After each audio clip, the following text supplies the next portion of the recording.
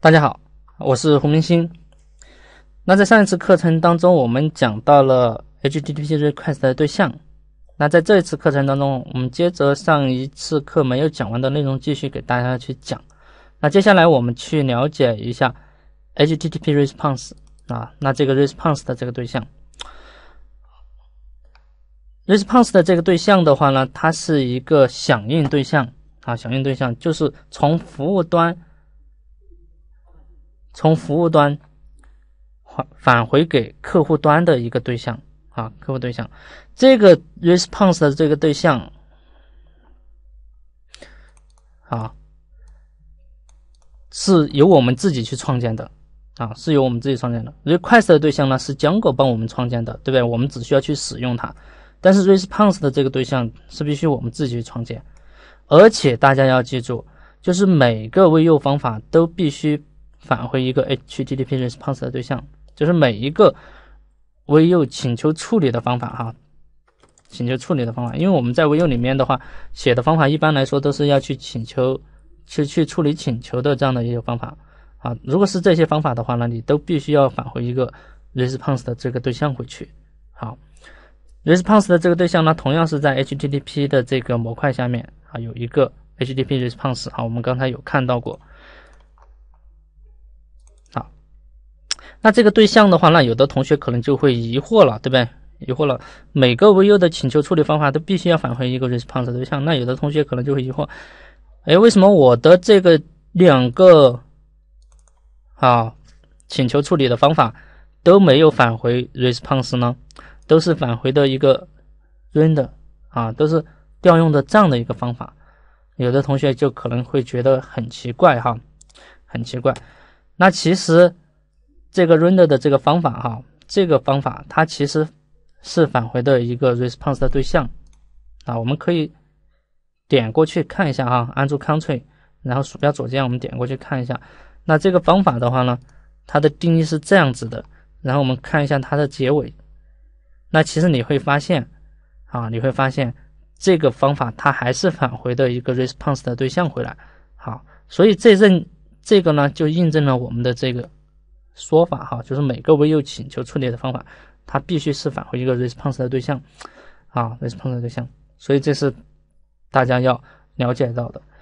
然后我们在使用的时候，我们的这个 render 的方法，它算是一个快捷的方法。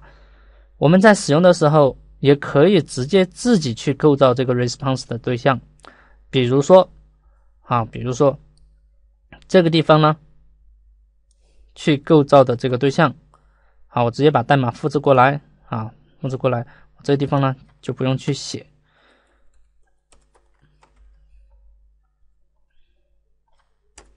好，我们每一个方法都是要求把这个 response 的对象返回回去，对吧？好，返回回去。那我们看一下这样的一个结果会是什么？刷新。好，你会看到我这个地方的这个结果同样是。有页面出来，对吧？有内容出来，只是呢，不是我刚才的那个模板的页面，对吧？不是我刚才的那个模板页面。好，如果说我的这个地方没有去返回 response 的对象，会怎么样呢？没有返回 response 的对象，那这地方就会出错啊，它就会给你出这样的一个异常啊，value error，就是它必须要求你们，如果是看到，如果是看到这个异常的话，那就是说你的这个请求处理方法。没有返回 response 的这个对象，啊，OK，这个 response 的对象的话呢，我们还可以去设定它的内容类型哈，就是你去设置它是文本的类型，还是 JSON 的对象的类型，还是 XML 的格式啊，都可以去通过它去指定的啊，指定的。好，那有的同学可能会说啊，我这地方。虽然说返回了一个文本对象，啊，虽然说返回了一个文本对象，返回了一个字符串在界面上显示出来，但是我原来的那个模板好像不在了，对不对？好，原来的那个模板不在了，我希望把那个模板，就是这个 table 点 html 的模板显示出来，要怎么来做呢？要怎么来做？好，我们来看一下它的官方文档。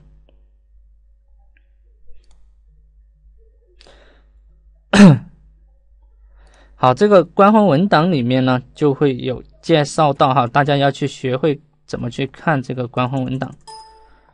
好，是在这个里面，那就应该是在这里面。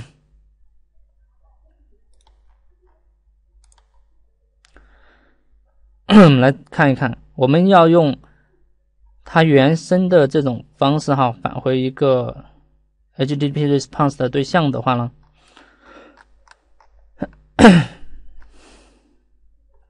好，这个地方啊，这个地方，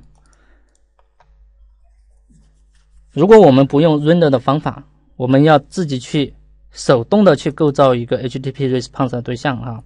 那这个地方它有给出这样的一个示例，那这个示例我直接去把它拷贝过来，拷贝过来了之后，啊，把这两句代码先给注释掉。好，然后把这个代码拷过来，拷过来之后，我这地方还需要用到一个 load 啊，这个 load 应该是 template 的那个模块下面的一个方法啊，应该是这个，应该是这下面的一个东西啊，把它拷过来，拷贝过来，拷贝过来了之后呢，好，首先通过一个 get templates 去得到模板文件。好，得到模板文件之后呢，然后我要传递的这个参数哈，要传递给模板的参数，我需要先把它定义好。好，定义好了之后呢，去返回一个 response 的对象，HTTP response 的对象，然后通过这个模板对象的里面的一个 render 方法，好，render 方法，然后把我们的要传递的参数传递进去，对吧？好，然后这个内容类型呢，我们注意一下，我们这内容类型我们是一个 HTML 的文档哈，不是一个 XML 的文档，所以我们这个地方要给它改一改。啊，内容类型，内容类型，因为我们网页的内容类型是非常多的哈，网页的内容类型有可能它是一个图片，有可能是一个网页，也有可能是一个视频，对不对？所以你要去指定它的内容类型，然后我们的浏览器呢才好去识别它，好才好去识别它。那我这样改变之后。好，我这样改变之后呢，再访问一下这个页面。好，再访问一下这个页面。好，我们这个模板啊，好，模板就出来了，对吧？好，模板就出来了。它但是这个地方的信息好像没有对，我看一下呢。好，这个地方哈，这个地方应该是个变量，对吧？好，这个地方应该是变量，就是我们查询到的那个用户列表的变量哈。我这个地方用刚才写成字符串了，啊，所以。没显示对哈，那这样的话就可以了，对不对？啊，这样可以了。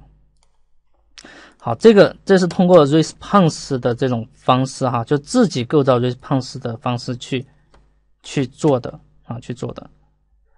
好，然后我们默认的浆果哈，默认我们在创建的时候，它给我们导入了这个 render 的方法哈，这个方法的话呢，是一个简写的方法，就相当于把。前面的我们刚才写的这么多的自己构造的这个代码，简化成了这样一句代码，对不对？简化成这样一句代码，好，所以呢，推荐大家用这个它简写的方法去哈，可以让你的代码更加简洁。好，除了这个简写的方法之外哈，还提供了这样的一个方法，render to response 的这个方法，这个方法更简洁啊，这个方法更简洁。比如说刚才的这个代码。我如果是用 render to response 的话呢，还要简洁一点。好，把这个方法名粘过来。啊，但这个方法呢，还是需要先导入。导入的话，它依旧是在这个模块下面。好，导入过来了之后呢，这些地方的这个 request 的参数就不需要传了。你看这个方法是不是比上面的这个 render 方法还要简洁一些哈？就是 request 的这个参数都不用啊，都不需要再传递。好，同样实现的这个效果哈，依然是一样的。OK，好，依然是一样的。好，这几个方法哈，这几个方法 HTTP response 的这个方法的话呢，render render to response 啊，这这都是它的一个简写。啊，都是一个简写的方法，所以在使用的时候推荐这两种方式啊，这两种方式，当然你们用当中的任何一种都可以，啊，任何一种都可以。OK，那除了这个的话，还有一个这个 redirect 啊，redirect 这个方法大家也有必要去认识一下，这是一个跳转的方法。这个方法它同样同样是一个 response 的对象，同样也是在这个模块下面，好，我们可以把它导入进来，好，redirect，看一下。好，是叫这个名字对吧？好，好，这个名字。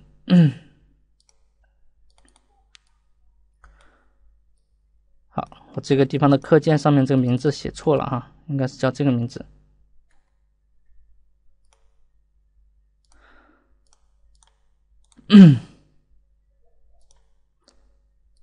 好，少了一个一，好，应该这样子的。好，这个方法它是一个跳转的方法。同样，我们可以去看一下这个方法，它也是返回的一个啊 response 的对象啊，我们来看一看呢，redirect，好，然后它是返回的一个什么 redirect class 对吧？然后我们再点 Ctrl 再跳，好，跳过来之后的话呢，我们就可以看到这个 redirect 的这个 class，那其实是 response 的对象。啊，response 的对象，只不过这个 response 的对象，OK。这 response 的对象，它是换了一个名字，这个呢，其实是 response 的这个子类哈。我在这地方给大家有有备注啊，HTTP response redirect 呢，那它是 HTTP response 的这个子类。那这个的话呢，这两个类哈，一个是临时跳转，一个是永久跳转，就是我们在做重定向的时候会用到它。啊，还有比如说这个 response 的这个 not found，就是。你要返回四零四的页面的时候，你可以用这个去返回一个四零四的这个状态回去。还有像 JSON response，那它是返回 JSON 字符串的这样的一个 response 的一个子类。OK，好，这个地方这个地方哈，这个地方的话呢还有很多哈，你们可以自己看，还有很多，这地方就不一一去讲了哈，不一去讲 response 的这个子类呢是很多的很多的。啊，你们要去详细的了解的话呢，还是去看我给大家的这个资料啊，官方文档的资料，通过它去了解哈，通过它去了解。好，redirect 的这个方法的话哈，它也是一个 response 的对象，好，response 的对象。那只不过呢，它不是去渲染模板了啊，它是去干嘛呢？它是去做页面跳转啊。比如说，我这个地方希望它跳转。比如说跳转到百度点 com，那我就可以让它跳转到具体的某一个地址，啊，具体某一个地址。那我当我再去刷新的时候，你会看到我的这个网页它发生了一个跳转啊，它跳转到百度那里去啊，跳转到百度那里去。好，同样我也可以跳转到我自己的这个某一个网页上面。我自己的这个网页除了 hello 的这个路径的话，我还定义了一个 test，对吧？然后有一个 id，有一个 key 的这样的一种方式。那我还可以让它跳转到，比如说这样的一个路径上面去，对吧？这是我自己网站上面所定义的这样的一个路径，我可以让它跳过去。好，这样也可以。好，这样也可以。这个它就跳到这个路径来了，对不对？看到没有？当我去访问 hello 的时候，它不是显示的 hello，而是跳转到另外的一个网址了。OK。好，这是这个 redirect 哈，这这些方法都是非常常用的，非常常用的方法哈，希望大家呢能够去掌握和了解它。好，这是关于 response 啊，关于 response 啊，大家要记住几个关键点哈，以及它的常见的子类，还有常见的在这个 response 对象上面扩展的一些常用的方法。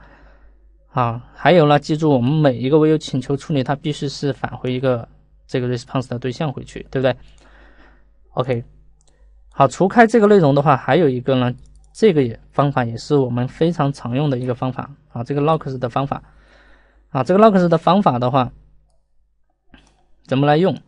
怎么来用？那比如说我们之前在这个地方去渲染模板的时候，哈，渲染模板的时候，这个地方的这个值。